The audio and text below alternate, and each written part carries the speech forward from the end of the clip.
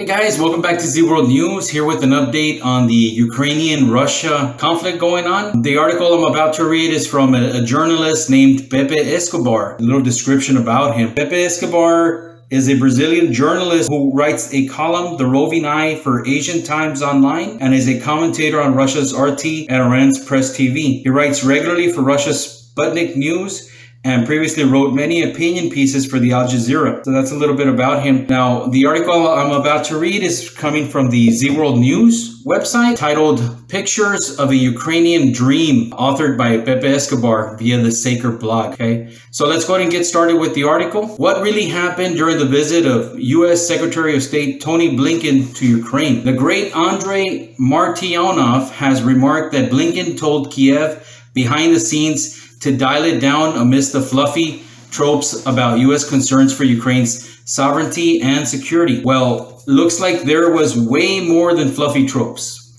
Leaked information on the closed door meeting between Blinken and comedian in charge Zelensky is no less than incandescent. Blinken seemed to have read a no holds barred riot act. Now, here are the guidelines on, the, on the, what the the meeting was about. All Ukrainian state corporations must be controlled by the proverbial foreign interest. So board majorities must be either foreign or fifth columnists.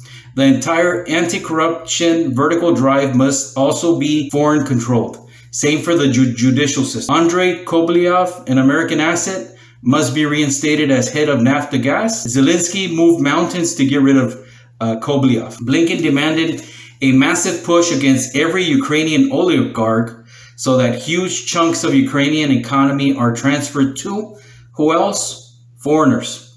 Same for land privatization. Somewhat hilariously, Blinken warned that Russian troops might invade Ukraine. In this case, Zelensky can count only on, politi- on huge political assistance, not military. So Zelensky, Zelensky, in fact, was ordered to stop asking to join NATO and cease provoking Russia as President Putin, who already drew red lines, could make a drastic decision.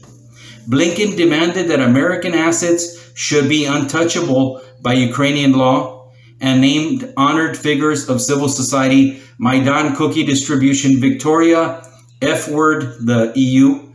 Nuland, also in the room, drew up a list of the untouchables and Blinken met with them separately. Finally, the giant ghost hanging over the whole trip to Kiev had to make itself known. In practice, Zelensky was invited to turn in everyone in Ukraine who helped bring information about Hunter Biden to the media via Rudy, Rudolph Giuliani, who had access to the leak. Zelensky was left beyond speechless. That's not exactly what he was expecting, especially when it comes to transferring valuable assets controlled by Ukrainian oligarchs to foreign interests someone will inevitably whack him. No one is touching this leak as if it was radioactive poison. No one will confirm it. Its plausibility, though, cannot be denied. Contradicting these powerful left unnamed foreign interests is simply out of the question. They now seem to be guided by a take the money and run logic, as in taking over the looting of Ukraine lock, stock, and barrel before the whole thing actually failed state blows up. Pity those oligarchs who thought they were going to loot the land through privatization. Instead, the money is on a one way out journey. Follow the money, follow the dream. So that's the end of the article. I hope you enjoyed it. Uh, Ukraine has been receiving a lot of uh, foreign money from the U.S. The, and, and other countries, and uh, it's not free money. Uh, the money has been given to them as a loan. So now they're calling back calling back those loans by putting their people. When I say their people, I'm talking about the U.S., talking about uh, the EU. They're putting in their people to pretty much take over uh, the assets of, of Ukraine. And it's basically a takeover of the whole country. And, and it's not in the interest of the Ukrainian people. Keep you posted if anything new comes out. Remember to subscribe, like, hit the notification button if you like what we're doing. And I'll see you in the next episode.